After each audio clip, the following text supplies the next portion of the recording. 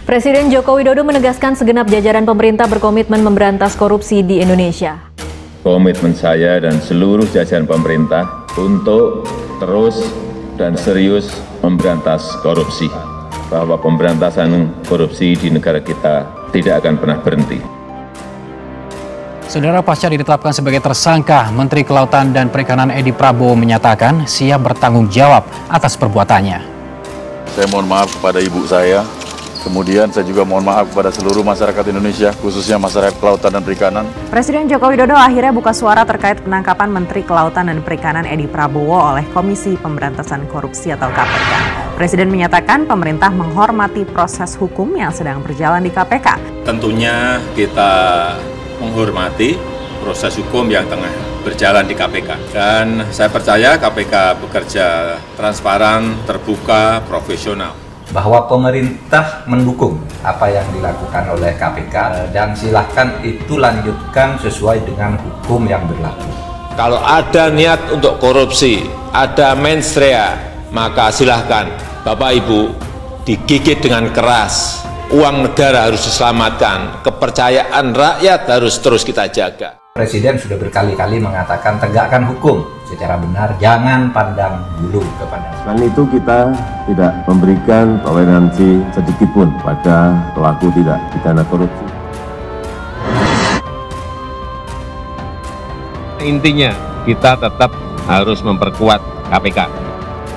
Yang mungkin banyak yang terhianati, juga nanti saya akan mohon diri untuk tidak lagi menjabat sebagai menteri dan saya yakin prosesnya sudah berjalan.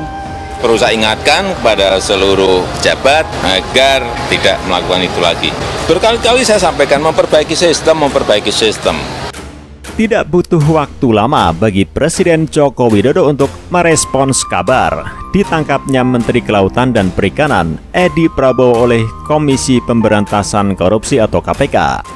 Pada Rabu 25 November 2020, Presiden Jokowi menekankan bahwa pemerintah konsisten mendukung upaya pencegahan dan pemberantasan korupsi.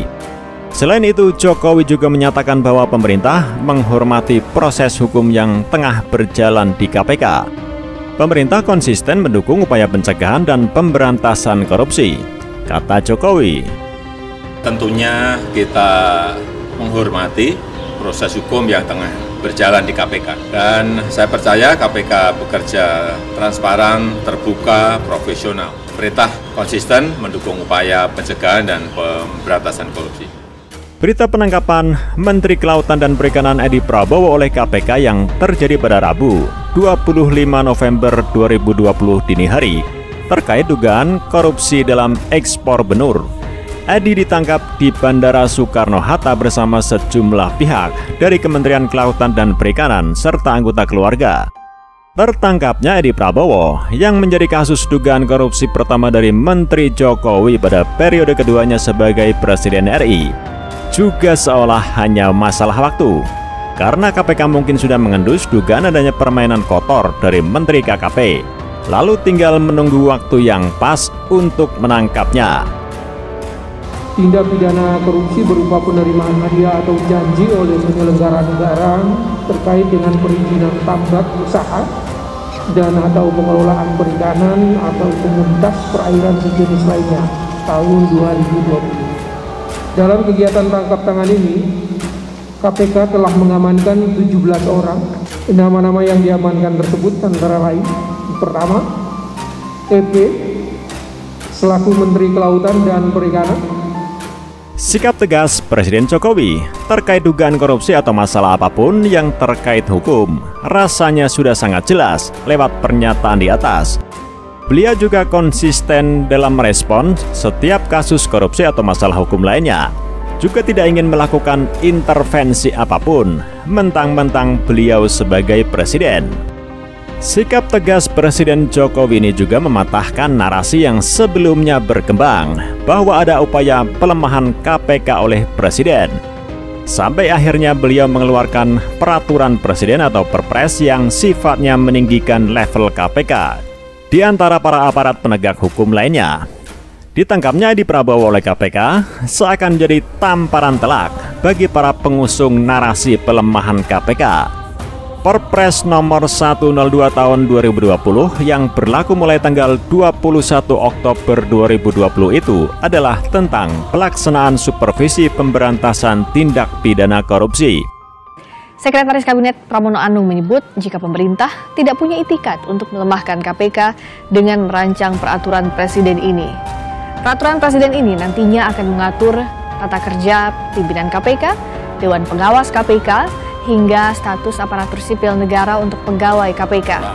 Apa pun yang dilakukan tidak mungkin bertentangan dengan undang-undang itu pengaturan dalam perpres. Sehingga dengan demikian tidak ada eh, niat, itikat atau apa pun dalam pemerintah untuk melemahkan KPK.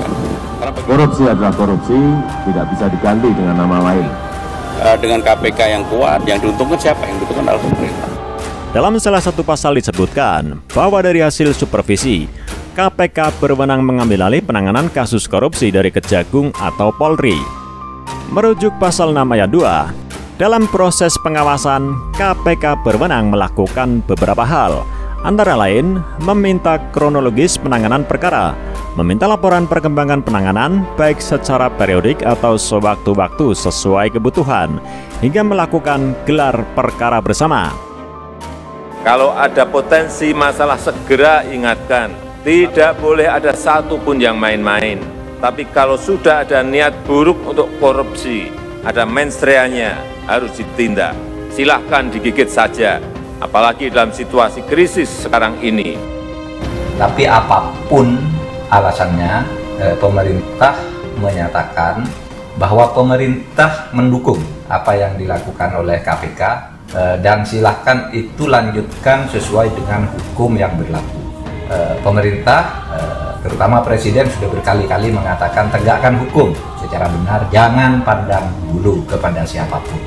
Dalam rangka penelitian, KPK berwenang meneliti pelaksanaan hasil pengawasan, memberikan arahan dalam pelaksanaan hasil pengawasan, melakukan rapat mengenai perkembangan penanganan perkara, dan melakukan gelar perkara bersama. Dalam melakukan penelahan, KPK berwenang menelaah pelaksanaan hasil penelitian dan rekomendasi serta melakukan gelar perkara terhadap hasil pengawasan dan laporan hasil penelitian.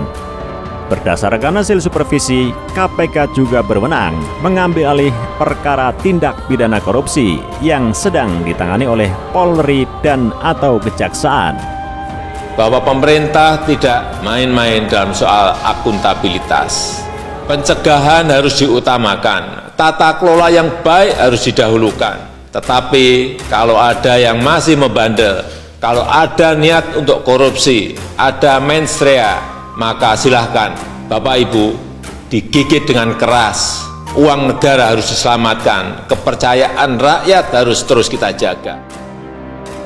Langkah penegakan hukum terhadap kasus korupsi merupakan langkah penting dalam pemberantasan korupsi. Melalui penegakan hukum kita bisa menyelamatkan uang negara dari tindak korupsi.